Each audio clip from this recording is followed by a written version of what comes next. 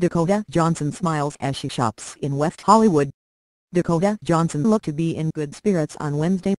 The Fifty Shades of Grey actress, 28, smiled as she left the luxury beauty shop Violet Grey in West Hollywood while carrying a rather large bag full of items. This sighting comes after a report from Us Weekly that the daughter of Melanie Griffith and Don Johnson is getting serious with Coldplay lead singer Chris Martin. For her quick shopping trip, the Austin-born actress wore a body-hugging, all-black ensemble and comfortable Adidas sneakers. She accessorized with a pair of oversized sunglasses that mostly helped keep her incognito. Johnson kept herself hydrated with water and an iced latte from nearby Alfred Coffee. Dakota has reportedly been dating Chris for months. Though there have been no photos of the two together, several sources have reported on their dates.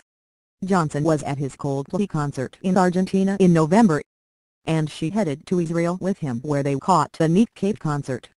They also dined together after the show at the Amshara restaurant in Herzliya. Dakota and Chris are definitely dating, the source tells Us Weekly. They've gotten to know each other really well and are very comfortable from one another. Chris sends Dakota his music to get her opinion. It's more than just a fling. The pair reportedly spend a lot of time in each other's home for ultimate privacy.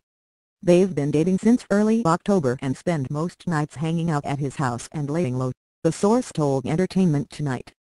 His friends already love her and see how happy she makes him, it was claimed. Martin was married to actress Gwyneth Paltrow from 2003 until 2016 and they share two children together. Johnson's penchant for men from the UK is far from new. She dated Benedict Cumberbatch in 2013 and rocker Matthew Hitt from 2014 until 2016. She and Hitt were spotted leaving separately from the same hotel in early November but nothing seems to have come from that.